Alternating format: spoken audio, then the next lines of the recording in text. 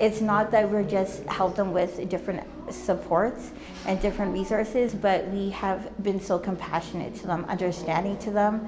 We have always taken the opportunity to let them know that okay, if you have tested positive now for COVID, don't worry, we won't leave you. A lot of them who have big families, they don't have the access to come out and get know, the vaccine because her husband works late. We've been able to accommodate them by taking their information and setting up appointments for them to go to help them no matter what time that they work. I just remember like going up to like Wilson Station five in the morning to like meet the construction workers, mostly from migrant communities, mostly Spanish speakers like myself from Latin America.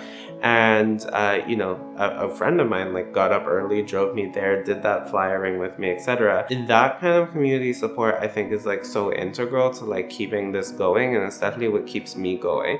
Work is becoming increasingly hard and challenging as we ran into many microaggression and even hostility.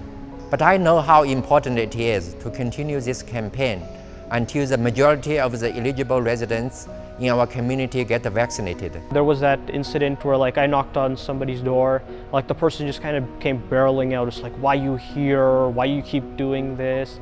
Like to be honest, that was kind of a sad moment. But then like afterwards. We went to a house with a elderly couple and they were like really happy that we came because like they didn't really get a chance to get the vaccine because they can't leave the house. One of them was bedridden and the other one needed a walker to move around. I felt like I was needed at that point. That raised my spirits and like it gave me a sense that like I'm actually doing something and helping out. The senior citizen requested me to get a team of Michael Garron Hospital uh, so that uh, we all can go to the apartment and give him vaccine. It was his first dose. He was so happy as he got the vaccine at his home. No matter what your occupation is and the role that you play in getting these vaccinations out, it's nice to see that everybody works as a community. We are not giving up. Every shot counts.